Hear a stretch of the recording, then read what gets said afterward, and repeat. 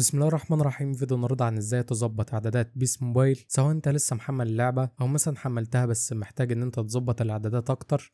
فبتدخل هنا في حسابك في بيس موبايل. لو أنت لسه جديد في اللعبة فأنت في إعداد لازم تظبطه الأول. بتروح هنا على إضافات بعدين إعدادات اللعبة.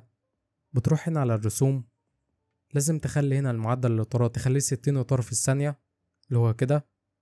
وتظبط هنا الرسوم على حسب حالة موبايلك. يعني أنت لو موبايلك كويس تخليه هنا قياسي. لو حسيت اللعبة فيها تهنيج أو حاجة زي كده بتخليها هنا منخفضة أو بتخليها أقل واحدة. بتجرب كل شوية تغير في دول أنا هخليها مثلا منخفضة. بعدين بترجع ورا. بنظبط هنا الإعدادات الأساسية في اللعبة اللي هو جوه الماتش يعني. فنروح نبدأ ماتش مع بعض. كده أنا بدأت الماتش وتعالى نجرب الإعدادات مع بعض.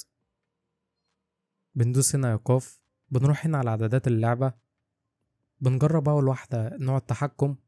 نوع التحكم هنا الأفضل تخليها كلاسيكي كلاسيكي اللي هو بيظهر الأزرار كلها يعني زرار المباصية والشوط والثرو وكمان الرفع وكل الحاجات دي. لكن عندك هنا اللمس والسحب السريع لو اخترتها كده. هتلاقي عندك هنا كل الزراير اختفت وبتلعب عن طريق اللمس بس اللعب عن طريق اللمس بيحتاج دقة وكمان لازم تكون متعود على اللعبة يعني مش هتعرف تشوط كويس ومش هتعرف تباصي. فالأحسن ليك إنك تخليها كلاسيكي ده لو أنت لسه بتلعب اللعبة جديد. بنروح نجرب الخيار اللي بعديه خليها دي كلاسيكي. عندك هنا نوع الزراع اللي هو زرار التحرك بتاعك.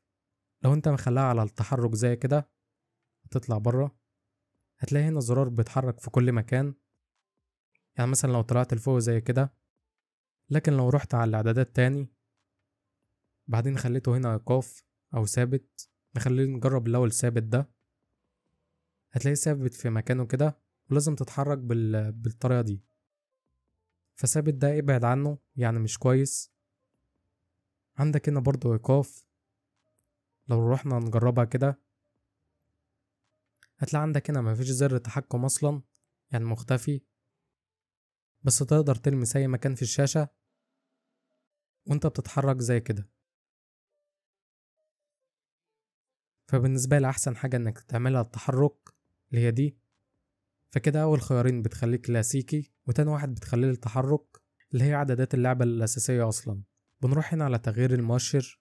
عندك هنا بمساعدة وكمان شبه تلقائي وكمان يدوي. لو عملته هنا مثلا يدوي اللي هو تغيير المؤشر. لو جربت هنا هتلاقيني ماسك لعيب واحد بس اللي هو كان. واللعبة مش بتتغير لوحدها. لازم تدوس هنا على تبديل علشان اللعب يتغير. لكن بنجرب الإعداد التاني. اللي هو شبه تلقائي ده مثلا لو لعيب قرب على اللعيب اللي معاه الكورة هو يتغير لوحده. بس الأفضل ليك تعمله بمساعدة اللي هو ده يعني الكمبيوتر يساعدك شوية. بنروح للخيار اللي بعديه اللي هو مدى إدخال الحركة بتخليه هنا متوسط تسيبه زي ما هو. وعندك هنا برضو عناصر التحكم بتخليها تحكم المستخدم. بعدين بتنزل تحت هتلاقي عندك هنا الأوامر التقليدية عندك نوع تحكم الدفاع. لو جربت هنا تخليه قياسي نطلع بره في الماتش نشوفها مع بعض اللي هي القياسي. هتلاقي عندك هنا لو هو معاه الكورة يعني زي كده. هتلاقي في زر اسمه المطاردة زي كده.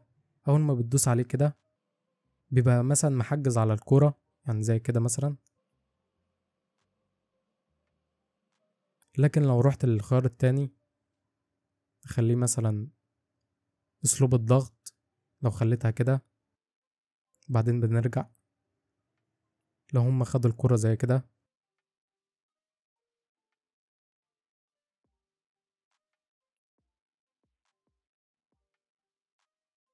هتلاقي عندك هنا زرار باسم الضغط لو دوست عليه كده هتلاقيه بيضغط لوحده على الكورة وكمان بياخدها. فالأحسن ليك إنك مثلا تخليه الضغط بالنسبة لنا أو ممكن بالنسبة لك أنت تحب الموضوع التاني. فالخيار ده براحتك على حسب لعبك أنت.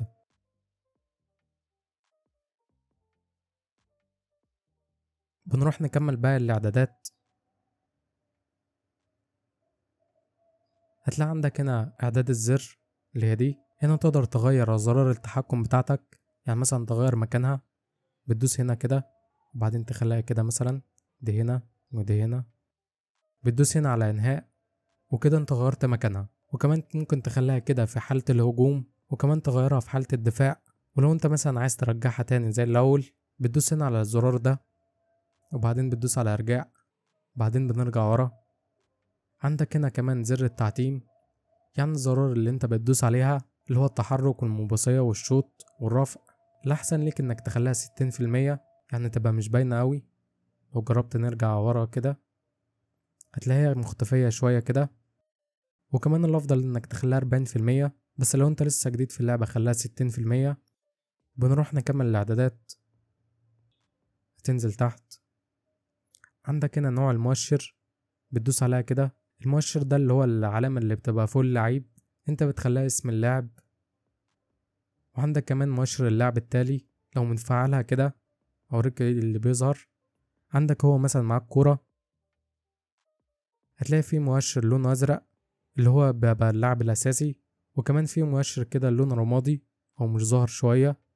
ده في حالة إن هما معاهم الكورة. المؤشر ده مثلا لو جربت تبدل على اللعيب التاني يعني زي كده لو جربت تعمل تبديل هتلاقيه راح على المؤشر اللي هو مختارينه باللون الرمادي. بنروح نكمل الاعدادات. بننزل تحت. عندك هنا رادار العرض اللي هو ده. دي الخريطة اللي بتبقى ظاهرة من تحت في النص. لو رجعت برا كده هتلاقي الخريطة بتاعت اللعيبة اللي هي موجودة هنا. ده الرادار بتاع اللعبة.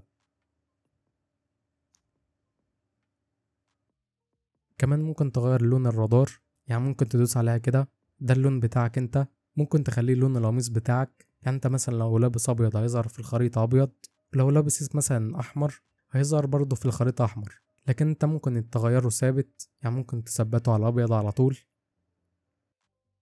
عندك هنا برضه مقياس التحمل لو فعلتها زي كده نرجع ورا.